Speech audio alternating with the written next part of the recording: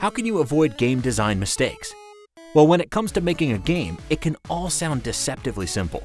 You just need art, code, music, and a game design, right? Well, the truth is there are a lot of moving parts and challenges within each discipline. What everyone is working towards, though, is executing on the game's design.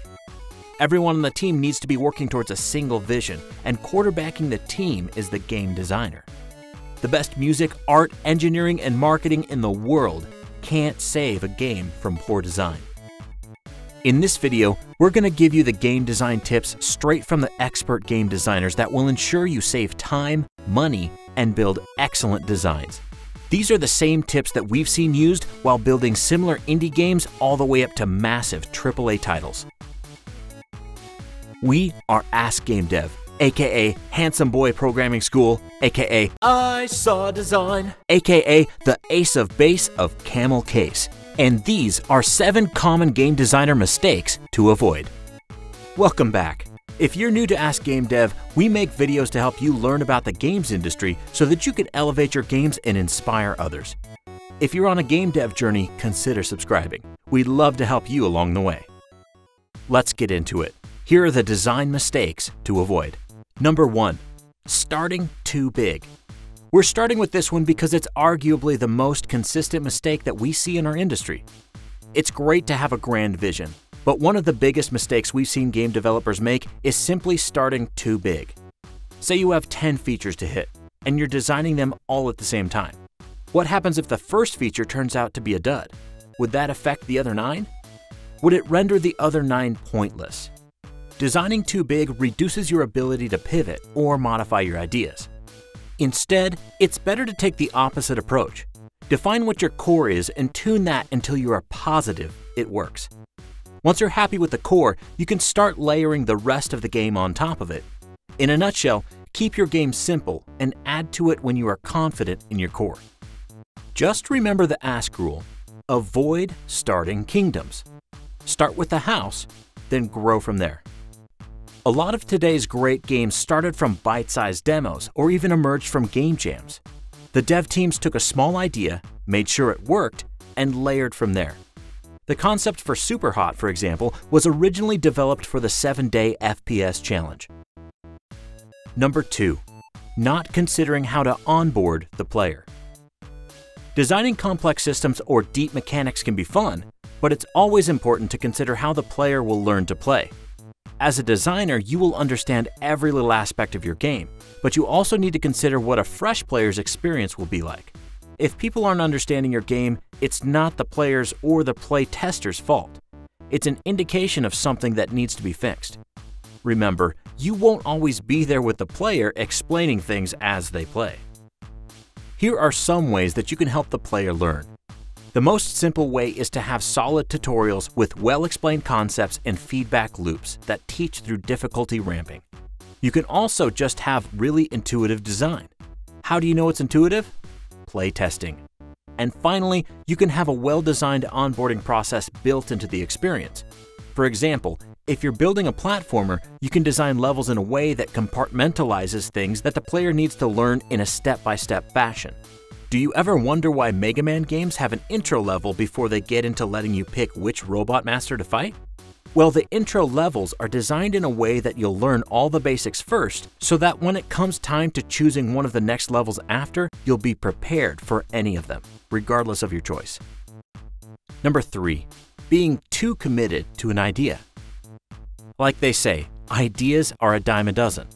A particular design might sound brilliant during a brainstorm or look awesome on paper or in your head, but the truth is, you don't know how much fun that design will be until you actually execute on it.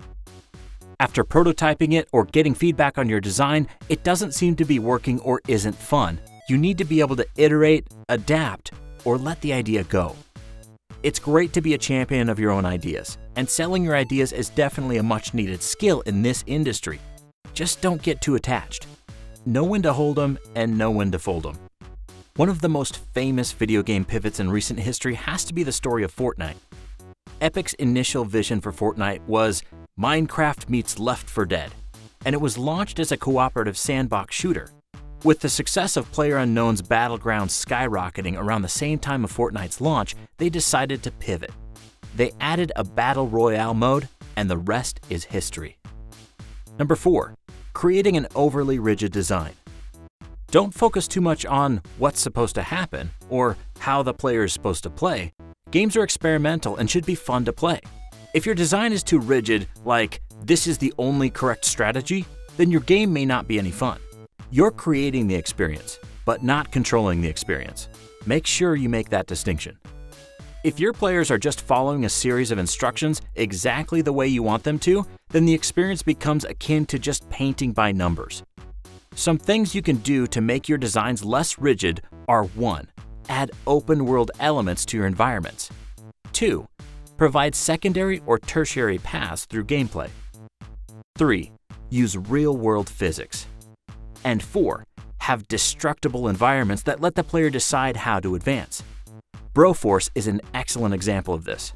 In Broforce, you can play through a level like a basic action platformer, but since mostly everything is destructible, you can also just tunnel your way through a level. And since you use a different bro with unique skills each life, there are numerous fun ways to take down enemies and get through a level. Number 5. Focusing on story too much up front. Unless you're making a visual novel, don't focus too much on story up front. There may be exceptions and story is important, but don't put all of your effort into writing a plot if you don't know how the game will play yet.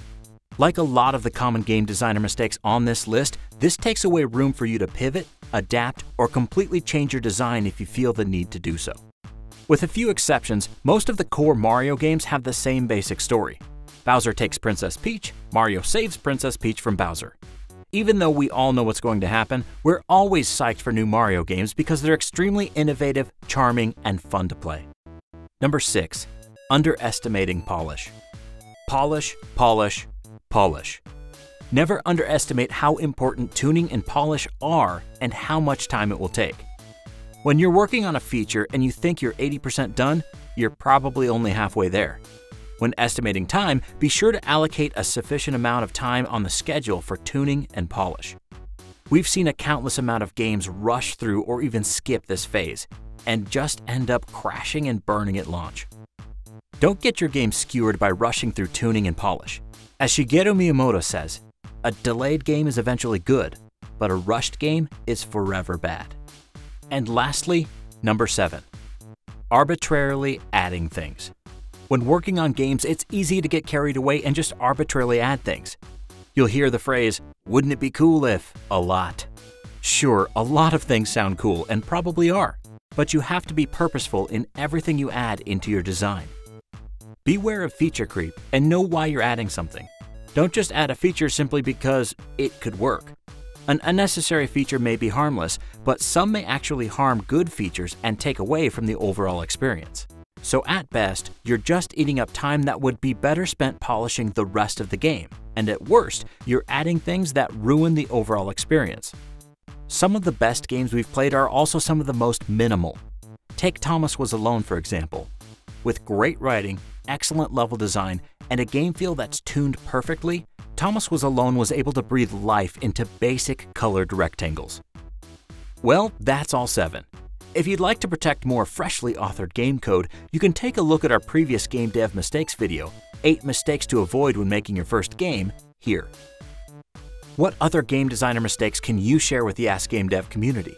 Let us know in the comments. And before we leave you this week, let's take a look at the Ask Game Dev community member Game of the Week. This week's game comes from Sharky, who shared their game on our Discord server, Chromasia, Rock Paper Tactics by Nexus Games. Chromasia is a turn-based tactical RPG that puts an interesting spin on rock, paper, and scissors. Explore your way through a dark but comical story and choose your own path to one of eight unique endings.